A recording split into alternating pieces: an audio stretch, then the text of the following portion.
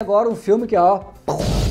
O nome dele é Source Code. Bom, óbvio que ele precisaria estar aqui nessa lista, né? Source Code, código-fonte, isso mesmo, óbvio que ele vai estar aqui. Bom, Source Code é uma sci-fizeira aí de 2011 com um maravilhoso, que eu adoro mesmo, né? O Jake Gyllenhaal e com a maravilhosa também Vera Farmiga, que eu também adoro os trabalhos dela. Na história, então, o soldado Coulter Stevens, que é interpretado aí pelo Jake Gyllenhaal, acorda numa vibe muito louca, assim, dentro de um trem, ele tá muito louco, e aparentemente, olhem só, ele tá dentro de um corpo de outra pessoa. O filme parece o Dia da Marmota, lembra no Dia da Marmota? Se não viram ainda, também fica mais uma dica aí que não tem muito a ver com tecnologia, mas é um filme que eu adoro, assim, né? Bom, o Jake Gyllenhaal lá, esse soldado, ele fica preso num loop temporal, assim, só que tem muito mais treta envolvida no negócio, o que torna o filme muito, muito legal mesmo. O título em português do filme Source Code não é código-fonte, isso mesmo, o nome do filme é Contra o Tempo. A nota no IMDB, olhem só que baita nota, nota 7.5 e lá no Rotten Tomatoes ele tem 92% de aprovação.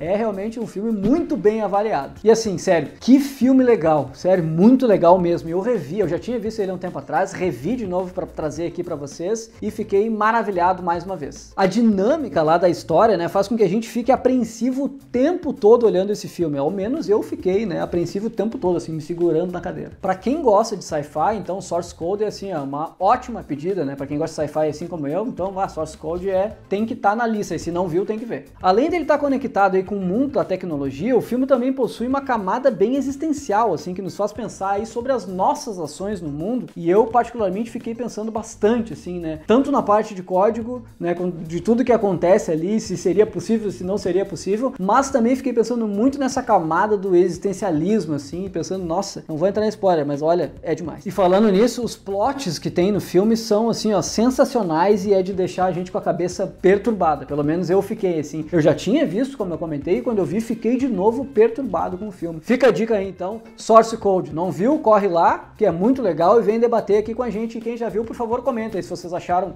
muito bom ou nem tão bom assim quanto eu achei.